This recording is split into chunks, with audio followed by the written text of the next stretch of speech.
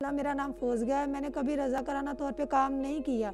लेकिन ये बाजी जब हमारे घर में आती थी, मैंने देखा, ये अच्छी लगती थी, ये काम करती, मेरा दिल चाहता था, मैं भी ये काम करूँ, ऐसे करूँ। मैंने बाजी से बात की, बाजी ने कहा, अगर आपको शौक़ है तो आप आएँ।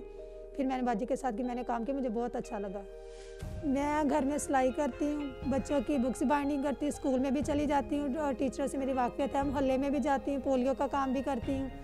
तो मोहल्ले वाले भी घर में आ जाते हैं, इसे कोई काम करवाना हो, मैं भी चली जाती हूँ। तो इस तरह कभी सब्ज़ी लेने चली गई या कहीं वो कुछ वैसे वो जो इकट्ठा हुआ तो हम उधर चले गए, दोस्ती, फ्रेंडशिप तो वैसे ही बनी होती है कि मोहल्ले में।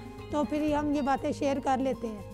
लेकिन मैंने अपने घर में, अपनी कज़नों को, मोहल्ले को, मेरी बहनों को, मेरे कहने पे अब वो उन्होंने को मैंने बताया। ये मेरी देवरानी है, उसका भी एक बेबी है, उसका तकरीबन चार साल का बेबी हो गया। वो भी तरीका इस्तेमाल करी। उसे ने कहा कभी मैं पाँच साल का बेबी होगा, फिर दूसरा बच्चा लूँगी।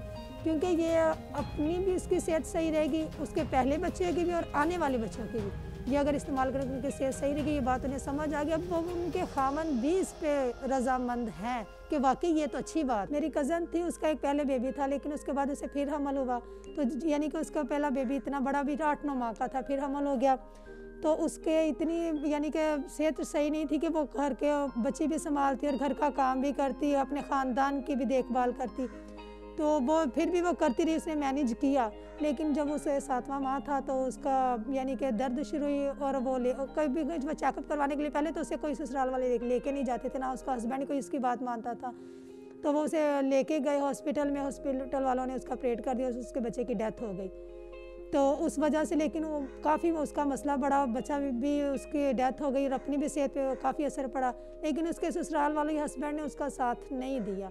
कि हम आपका ये बस ऐसे ही अल्लाह की मर्ज़ी थी, अल्लाह की रजा लेकिन ऐसा हरगिज़ नहीं होता। इंसान खुद भी कुछ करता है, लेकिन उसकी घर वालों में कहीं चलती नहीं थी। फिर मैं, हम उधर गए अफसोस के लिए तो उसने कहा, मैंने उसे कहा, मैंने कहा, माफ़ी, आपके पहले ऐसा हो गया, दो प्लेट हो चुके हैं तो आपका हमल भी जल्दी हो जाएगा तो आप ऐसा करो, कुछ इस्तेमाल करो।